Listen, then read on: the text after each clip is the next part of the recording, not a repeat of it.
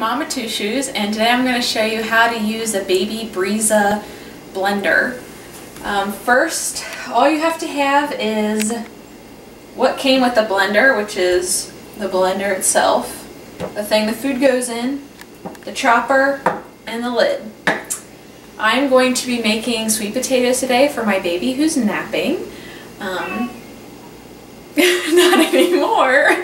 Um, so first I'm going to fill the water up to 180 milliliters and pour it in the back. That's going to allow the steaming process to work. I already had a little bit of water in there so I can just dump that out. And then I attach it to the system by placing it in here and twisting it to the right, closing the lid, adding the um, chopper, pushing it down as far as it can go, and now I've already peeled my sweet potato. Next I just have to chop it up.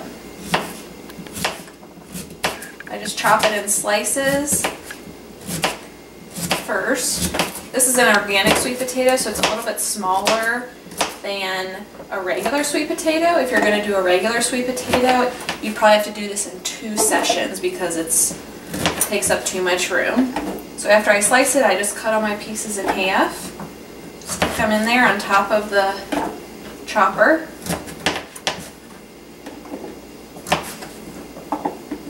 These little ends I don't have to cut in half.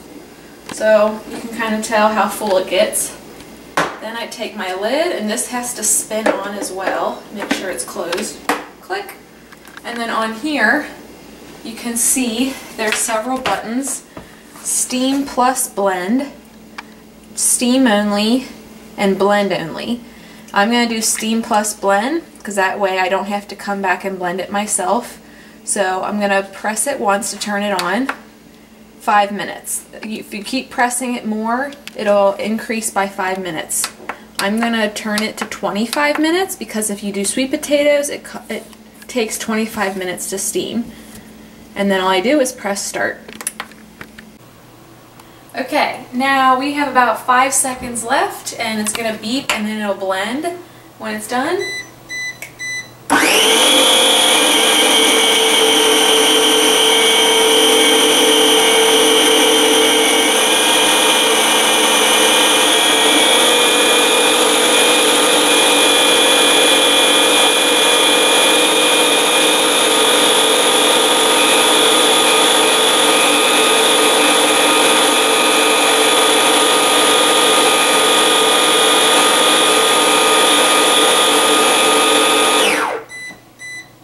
Okay, it's all done. Now really hot, so I take the lid off. You can see it's steaming. And I'm going to use a spatula and dish some into this bowl for when my baby wakes up from her nap, because this is what she'll have for lunch. And then the rest of it, I use the spatula and put it in a Tupperware for later. And with a small sweet potato like I used this time, it usually makes about two servings, but again, if you use a bigger sweet potato or a non-organic sweet potato, um, you'll usually get about four servings. So there it is. It's that easy. I hope you like it.